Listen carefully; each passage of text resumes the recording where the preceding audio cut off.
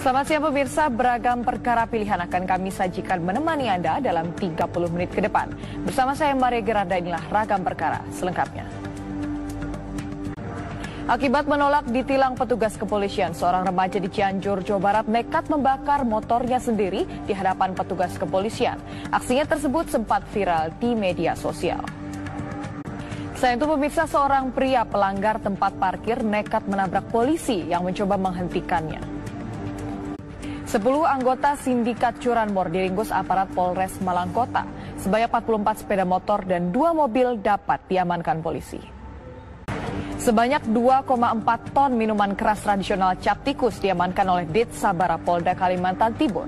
Miras ilegal tersebut dikirim dari Palu, Sulawesi Tengah dengan disembunyikan di bawah tumpukan buah-buahan. Meski hukuman bagi pengedar dan penyelundup ganja lebih berat dari kasus narkoba lainnya, namun tidak membuat kapok para pebisnis barang haram tersebut. Hari ini polisi menangkap para tersangka yang tersebar di Solo dan Cilacap, Jawa Tengah, serta Padang Sidimpuan, Sumatera Utara.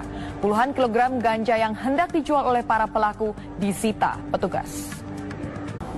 Sedang asyik bermain game online, seorang remaja di Gorontalo menjadi korban salah sasaran. Anda kembali di ragam perkara pemirsa Adul alias AA, pemuda warga Banjarwangi, Garut, Jawa Barat yang nekat membunuh kemudian membakar jasa seorang nenek renta hari ini melanjutkan pemeriksaan di Mapolres Garut. Polisi menyatakan aksi pembunuhan sadis ini dilakukan hanya gara-gara hutang Rp15.000. Pemirsa Bares Krim Polri mengungkap produksi mie mengandung bahan berbahaya. Pemirsa, semoga apa yang kami sajikan dapat meningkatkan kewaspadaan Anda karena kejahatan dapat terjadi kapan saja.